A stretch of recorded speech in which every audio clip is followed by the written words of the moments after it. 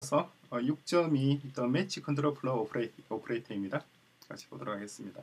상당히 재밌는 주제예요. 우리가 이미 여러 차례 본 것들인데 같이 이번 시간에 정리해 보겠습니다. 이남이 하나 있죠. 이남이 있고 다음에 펑션이 있습니다.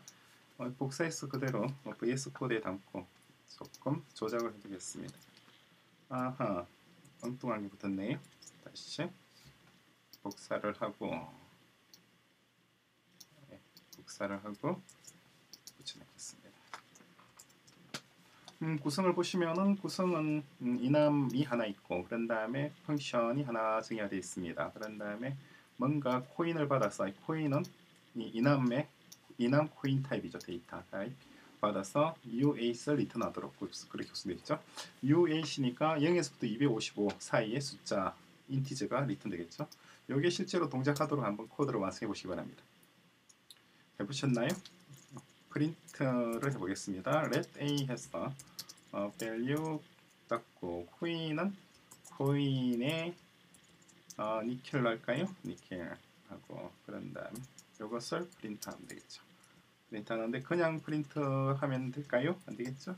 그래서 a를 단수하겠습니다. 그러면은 어, 이렇게만 해서 될 게 아니라 뭔가 음, 그냥 이렇게만 해도 되죠. 왜냐니까 이 a에 담기는 값은 요것도 필요 없네요. 아, u8니까. 그죠? 돌리면은 결과적으로 이렇게 building하고 결과 five가 나왔죠. five는 니켈인 경우에 five를 return하라고 하는 거예요.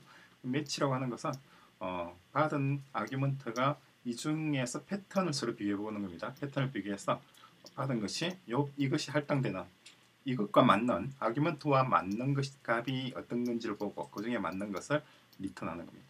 그죠? 하나만 딱 걸리게 되면 첫 번째 걸린 게 return 되는 거예요. 이것이 가장 기본적인 패턴 매칭 메커니즘이죠. 두 번째 예제도 보겠습니다. value인데 있고 다음에 이번에는 프린트도 가능하죠. 프린트. 그러니까 이 부분만 그대로 복사를 해서 여기다가 여기까지 들어가나요? 예, 맞네. 그러면은 죄송합니다. 지금처럼 음, 프린트 lucky penny 아, lucky penny인 경우에 그렇게 되는군요. 그러면은 여기서 니켈이 아니라 페니로 바꿔주겠습니다. lucky penny 1 이렇게 나온 방식이죠.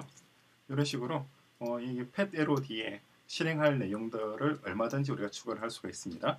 그리고 pattern that bind to value value에 어, 패턴이 bind 되는 경우도 있어요. 이 value라고 하는 것은 어, 요것이 value입니다. 이게 value예요. 여기 어떤 식으로 동작하는지 볼까요? 복사를 해서 그대로 다시 붙여놓고 실제 동작을 해보겠습니다. 그래서 마찬가지입니다. 지금 보시면은 음, enum이 하나 있어요. US State enum이 있고 이 enum이 다른 enum 속에 value로서 들어가 있어요. 그죠? 다른 이남의 어떤 쿼트라고 하는 베리언트의 밸류로서 US 스테이트 다른 이남이 들어가 있는 겁니다. 그리고 어, 마찬가지 function이 정의되어 있는 상황이죠. 이 상황에서 이게 출력되도록 한번 코드를 구성해 보시기 바랍니다. 해보셨나요? 예. 일단 이전과 동일하게 let a equal value 넣고 음, 코인 음, 종류가 뭐가 있나요? 어, 쿼터 쿼터가 들어야 되고 그리고 그냥 쿼터가 들어가고 마는 것이 아니라 여기에 들어가는 값 value가 지정돼야 됩니다. value는 US 스테이트죠. US State에 해당되는 것은 알라바마나 알라스카 둘 중에 하나죠. 그죠? 그러니까 여기다가 알라바마나 US State 알라바마 넣어주죠. 그런 다음에 이것을 프린트 해보겠습니다. 프린트해서 이번에는 primitive 데이터가 아니니까 이런 식으로 지정을 해줘야 되겠죠. 그런 다음에 A 였습니다.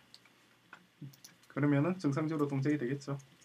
그래서 동작에서 결과적으로 The State Code from Alabama 그리고 25 이것이 그대로 실행되고 있죠. 이번 예전은 이남 속에 이남이 들어가 있는 그런 형식의 패턴 매치, 패턴 비교입니다.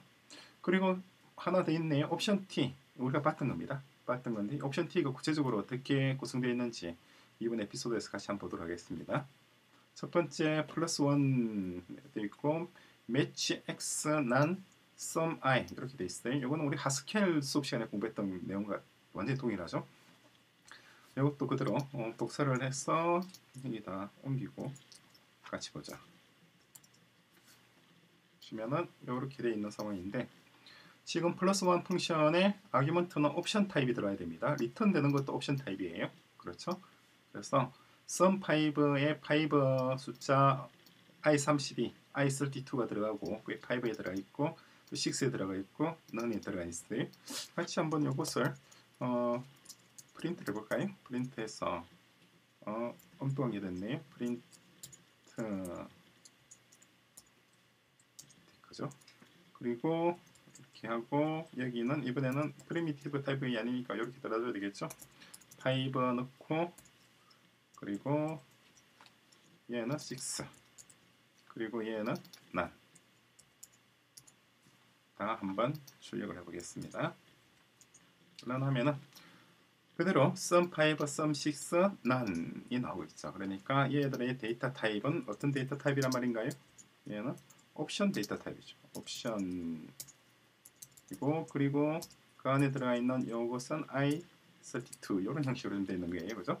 그런데 이걸 이렇게 하지 않아도 된다 그랬죠. 왜냐니까 어, 지금 보시면은 상당히 좋죠. 아무것도 암시 그냥 some만 하더라도 그대로 출력이 되고 그리고 깔끔하잖아요. 그죠? 어떤 이전과 좀 다르죠. 그래 이거는 이유는 이 옵션 자체, 옵션이라고 하는 enum은 Rust라고 하는 언어에 이미 내장되어 있습니다. 그래서 뭐 추가적인 어떤 조치를 취할 것 없이 그대로 출력도 되고 그래도 그대로 우리가 조작을 할 수가 있어요.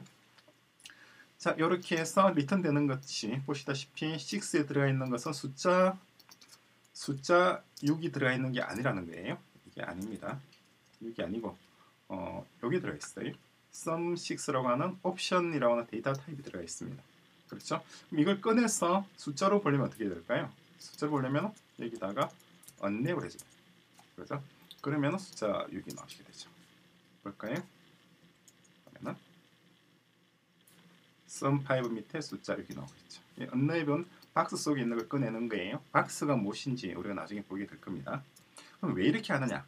왜 이렇게 번거롭게 하느냐라고 하는 건데 어, 이렇게 함으로 해서 데이터가 어떤 데이터 그러니까 요6 속에 들어가 있는 데이터가 어, 정확하게 i32라고 하는 숫자일 거라는 확신이 없다. 그죠? none일 수도 있다. null일 수도 있단 말이에요. null일 수도 있는 경우에 이런 안전장치를 통해서 어, 설사 어, 우리가 원했던 데이터가 없다 하더라도 시스템이 다운되거나 어, freeze 되지 않도록 그렇게 안전 조치를 취한 겁니다. 그죠? 안전 조치의 의미가 예요 옵션은. 자 그리고 조금 더 밑에 보시면은 어, 매치는 익스클루시브 해야 된다. 빠짐없이 다 지정을 해야 됩니다. 이렇게 하면 안 된단 말이에요. 이렇게 하면 하나 빠졌잖아요. 옵션에 지정되어 있는 variant는 종류가 두 가지예요. some과 none인데 지금 none이 없죠. 그렇게 하면 안 됩니다. 그래서 이런 placeholder를 쓸 수가 있습니다. 무슨 말이냐니까 밑에 보시면은 썸에서 다음에 0, U8 요 표기법도 나중에 따로 우리 공부할 겁니다. U8이고 그리고 값은 0이다 이렇게 나와 있잖아요. 그러면은 U8에 해당되는 값이 여기에 할당될 수 있는 경우의 수는 256개가 있죠. 2의 8승이니까. 그래서 그래서 매치를 하게 되면 지금 현재 1357만 돼 있고 나머지 숫자를 대응할 수 있는 게 없잖아요. 그죠? 그런데 조금 전에 어, 패턴은 익스크리시브 해야 된다. 빠져나가는 게 없어야 돼요. 빠져나갈 수 있는 게 없도록 하는 게 이겁니다. 나머지 전부란 뜻이죠. 여기는. 그죠? 나머지 전부라는 의미입니다. 이것도 실제 복사해서 한번 실행해 보시기 바랍니다.